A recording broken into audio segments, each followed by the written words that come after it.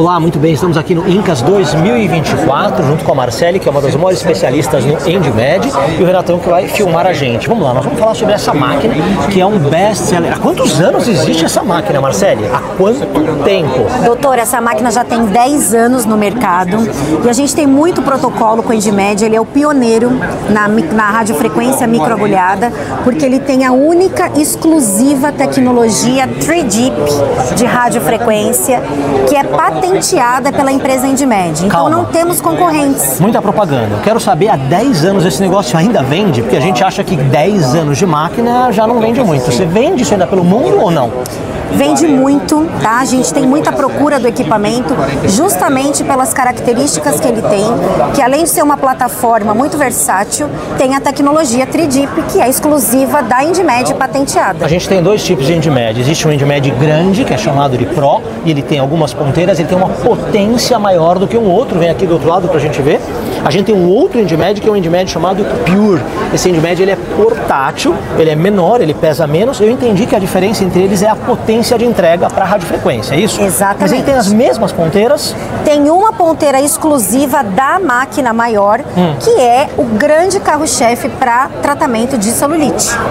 Ah, Então, não encaixa aqui não encaixa Contour? nessa daqui. É o que a gente mais gosta, realmente. Para corporal, para celulite, a Contour tem uma legião de médicos fãs. Agora, você está num stand diferente. Você não está no stand lá da MedSystem, etc., que é por onde a gente adquiria essa máquina. Me conta o que aconteceu e quem que é aquele cara ali, porque essa é uma empresa israelense, né? E aí eu já tentei falar com os israelenses várias vezes para ver se mudava algumas coisas na radiofrequência, se podia fazer um pulso diferente, como é que a gente ia competir com o Morpheus, né? E com outras Exatamente. radiofrequências, mas entendemos que não. São propostas diferentes e que entregam um pulso, um resultado, sem precisar fazer pulsos e etc. Né? Mas eu queria que você falasse então o que aconteceu, porque eu não entendi, porque vocês estão aqui diferente, num outro stand. Então agora nós não estamos mais na Med Systems. A EndMed saiu depois de alguns anos da Med Systems e foi para o novo distribuidor que é a Pollux. A Pollux é uma empresa muito consolidada no mercado também. É uma empresa de injetáveis e esse ano a gente vai ter muito protocolo do EndMed com injetáveis. Novos drug deliveries, é, o, também o ácido hialurônico que é específico da Pollux. Ah, vocês vão trazer coisas para fazer drug delivery junto com a máquina Sim, e fazer um sim. combo. O preço da máquina vai aumentar, vai diminuir ou vai manter igual? Que é o que importa, né? O preço do consumível. Se eu vou pagar mais caro para pegar, comprar o consumível, cada vez que a gente usa o microagulhamento robótico, que tem uma agulha muito fininha de 300 micra, Micras. 0.3 milímetro, e é parecido com o outro que a gente já gravou e com outras máquinas, elas têm um tamanho de agulha muito semelhante, tá? É, vai mudar de preço? Isso aqui é isso que eu quero saber.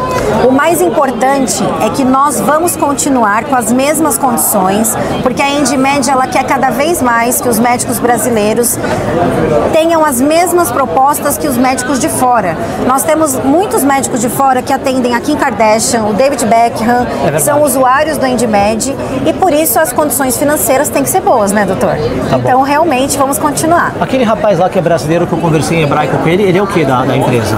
Ele é gerente na EndMed Israel. Ah, e aí ele fez, ele tinha ido pra lá, agora voltou. Nós vamos depois conversar com ele, é meu, meu xará, ele chama Cláudio também. É. Eu quero só falar sobre duas ponteiras que são as mais legais que a gente usa muito no consultório. Apesar de estar montado nesse EndMed Pure, essa aqui que chama iFine é uma radiofrequência que se usa muito ao redor dos olhos. Quando a gente combina essa radiofrequência, que faz um aquecimento volumétrico nessa tecnologia especial deles, que chama tecnologia 3D, e que blá blá blá eles falam que é melhor, e ela é muito boa mesmo, né? melhor é exagero, não é melhor, né? Só porque são meus patrícios israelenses.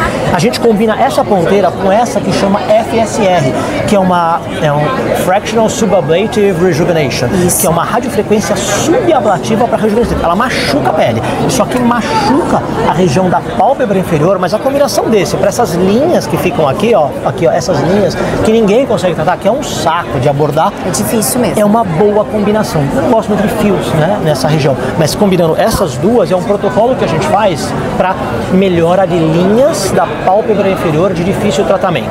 Falamos então de uma ponteira de celulite. Aquelas duas eu não tenho, que é a Shaper e a Mini Shaper, né? Que tá Ainda falta. não tem. Tentei comprar, eles Ainda queriam me cobrar tem. muito caro. Se fizer barato a gente compra, mas a gente tem esta aqui que é muito boa para celulite, Celulite. contra e a gente vai. E a gente tem outras que não estão aqui. Cadê as outras?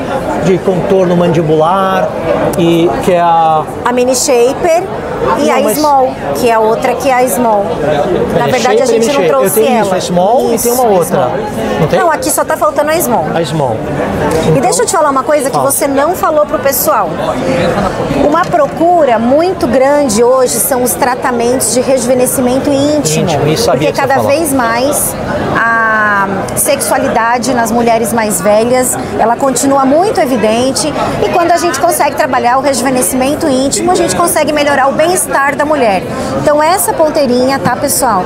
Ela trabalha a parte externa da vagina, ela dá uma retração imediata, melhora a flacidez e a gente consegue então também tratar o rejuvenescimento. Então a gente trata os lábios externos da mulher. Isso, Né? É, perfeito. isso somado com lasers ablativos, com lasers clareadores, com preenchimento, com bioestimulador, com laser dentro da região genital, causa também grandes resultados para mulheres que têm escape, que têm o assoalho pélvico, né? é, dores, é, a relação sexual. Então são combinações de tratamentos de um mundo chamado estética íntima feminina que cresceu nos últimos anos. E a gente está entrando forte com a clínica na estética íntima masculina, que é um assunto para outros vídeos que a gente já tem abordado. Então vou parar esse vídeo aqui, nós vamos conversar com o Cláudio quando ele parar de conversar com os gringos lá, que esse é um congresso internacional, e a gente volta a falar com você.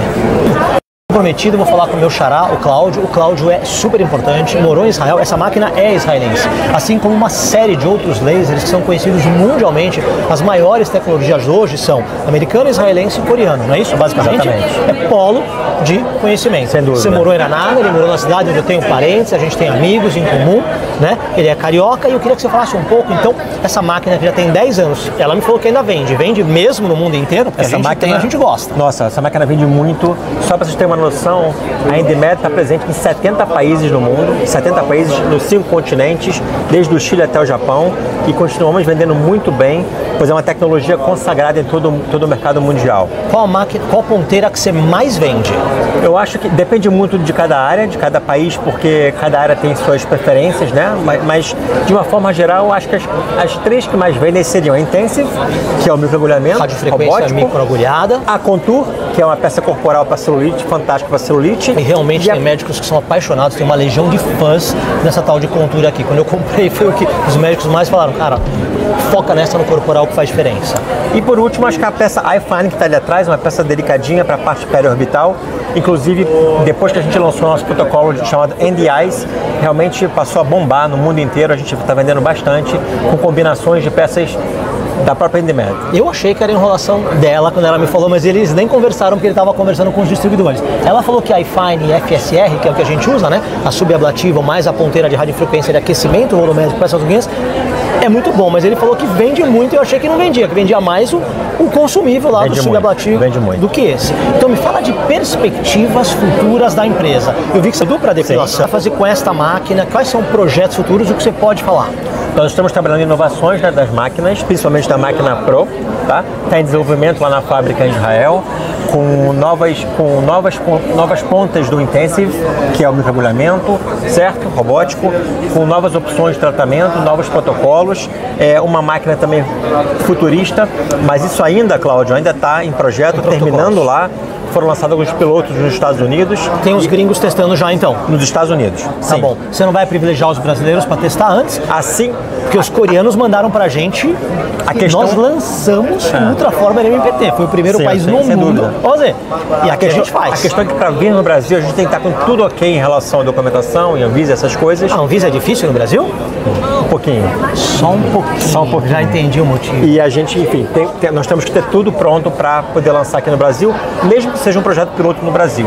Nos Estados Unidos já começou, pois a FDA já está liberado lá, por isso que a gente começou por lá. Assim que a gente puder ter toda a documentação tudo certinho, certamente o Brasil e a América Latina vai ser um privilegiado. Perfeito, Cláudio. Muito obrigado. Meu nome é agradeço. Cláudio Vulcan também. A gente se vê no próximo vídeo. Sou médico dermatologista. Até mais. Um abraço.